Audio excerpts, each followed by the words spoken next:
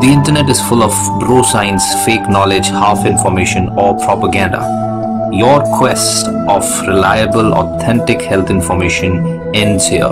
So, subscribe this channel and hit the bell icon, and you never have to go anywhere else ever again.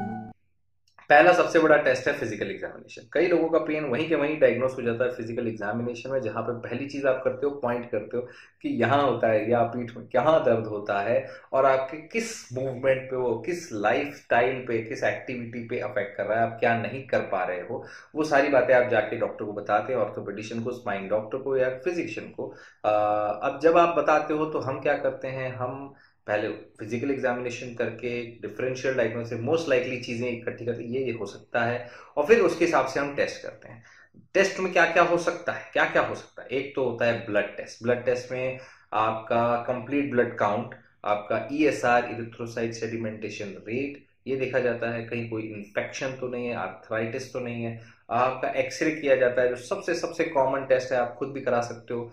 उसके बाद अगर doubt होता है तो CT scan किया जाता है। अगर हाँ डाउट है कि बोनी एबनॉर्मलिटी है बोन में प्रॉब्लम है तो सीटी स्कैन किया जाता है। डाउट होता है डिस्क हरिएशन है या नसें दब रही हैं तो एमआरआई किया जाता है। इसके अलावा अगर एक्चुअली स्पाइनल कॉर्ड को देखना हो तो उसके लिए माइलोग्राफी करके टेस्ट होता है जो कि एक एक्सरे या सीटी स्कैन ही है। बस उसमें कि आपके स्पाइनल कॉर्ड में एक डाई डाला गया है। डाई डाल के स्पाइनल कॉर्ड दिखने लग जाती है एक्सरे सीटी स्कैन में।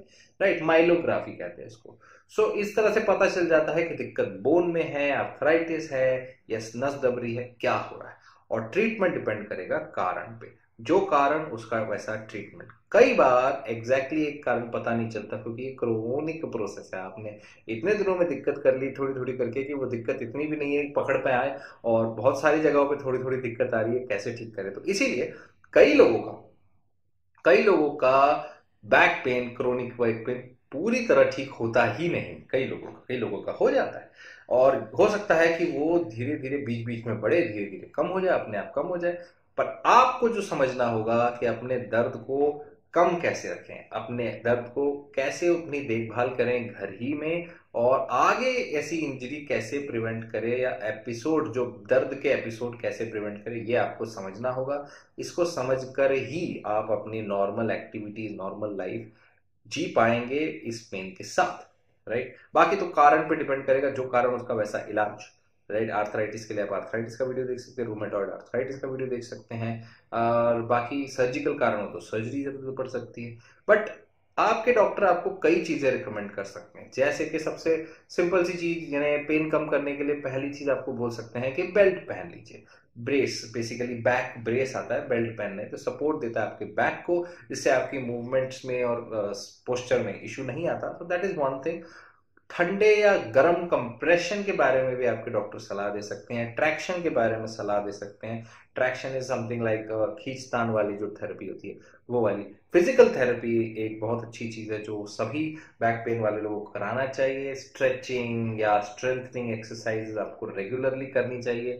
फिजियोथेरेपिस्ट से करवा के फिर सीख लेनी चाहिए। वो ज़रूरी है। काउंसलिंग बहुत ज़रूरी है। आपको समझना, आपकी आपकी दिमाग में जितनी भी जिज्ञासाएँ हैं, उनको समझना ताकि आप पेन मानसिक तौर पे भी मैनेज कर सको।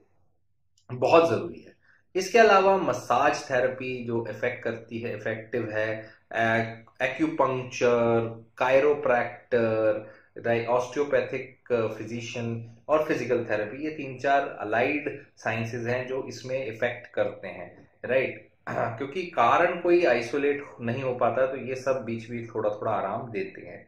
और जब इन सब चीज़ों से आराम नहीं हो पाता, तब जाके दी जाती है दवाएँ। जी हाँ दवाओं का मौका तब आता है, लेकिन हम तो पहले ही खा लेते हैं या फिर डॉक्टर पहले लिख देते हैं शॉर्टकट तो सभी अपनाते हैं। सो दवाएँ कौन सी? दवाएँ जो दी जाती है, वो है एस्पिरिन एस्पिरिन या नेप्रोक्सिन या इबुप्रोफिन नॉर्मली एस्पिरिन अब नहीं दी जाती बिकॉज़ एस्पिरिन से ब्लड भी पतला होता है, इसलिए एस्पिरिन नहीं दी जाती। नेप्रोक्सिन या इबुप्रोफिन ज़्यादा दी जाती है डाइक्लोफिनैक दी जा सकती है, कोई भी ये NSAIDs non steroidal anti inflammatory drugs ये दिए जाते हैं बेसिकली तो इनसे आपका दर्द तो कम हो जाता है, लेकिन इसको बहुत ही ज़्यादा लंबे समय के लिए मत लीजिएगा। इसके बहुत ज़्यादा साइड इफ़ेक्ट है।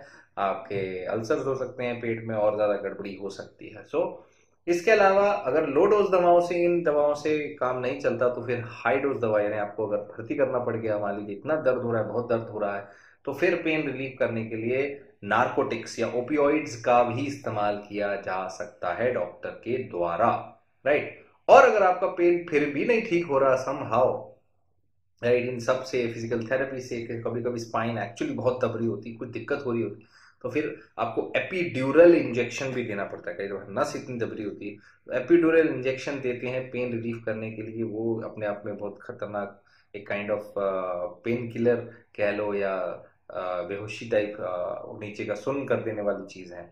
सो वो भी कर, सकते हैं। बाकी हाँ सर्जरी स्पाइनल सर्जरी करवाई जाती है या एडवाइस की जाती है उन लोगों में जिनमें कि कोई ना कोई नर्व डैमेज हुआ है।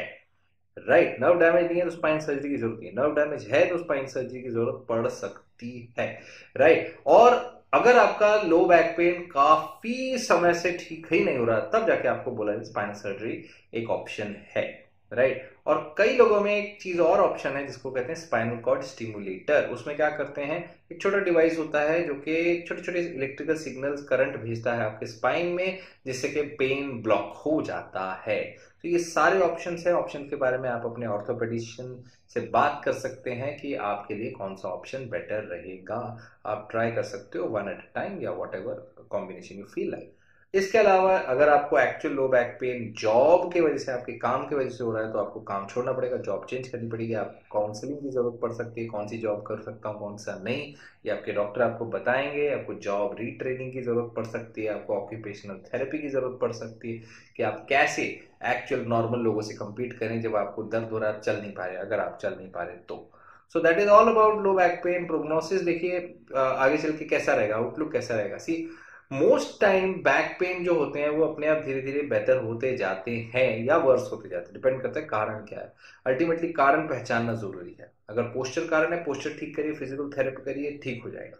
अगर कारण प्रॉब्लम नहीं है डिस्क हर्निएट तो डिस्क हर्निएशन ठीक करना पड़ेगा। इसलिए आपकी डॉक्टर की एडवाइस बहुत ही ज़रूरी है। Self care is massive self care measures बहुत ही ज़रूरी है। इसके अलावा अगर दर्द एकदम से बढ़ता है, एकदम दर्द शुरू हो जाता है, किसी एक पैर में या आपकी मूवमेंट बंद हो गई नर्वनेस बहुत ज़्यादा हो गई वीकनेस ज़्यादा हो गई बॉवल ब्लैडर पेशाब या लैटरिन का कंट्रोल चला गया तो तुरंत के तुरंत हॉस्पिटल जाइए एडमिट होइए चेकअप कराइए। वो बहुत ज़रूरी है, क्योंकि हो सकता है नस एकदम ही ज़्यादा खराब हो गई है, कट गई है। So that is all about low back pain तो ये बात हुई लो बैक पेन की। आई होप आपको वीडियो पसंद आया हो। पसंद आया है तो लाइक करिए, बड़ा वाला, ताकि हमें पता चले पसंद आया है। सब्सक्राइब करिए चैनल को बेल का आइकन दबाइए, सबको बताइए। मैं हूँ doctor Paramjit I am consulting physician and cardiologist in Yashoda super speciality hospital Nehru Nagar Delhi are और यह मेरा channel don't go anywhere keep subscribing and stay connected to stay healthy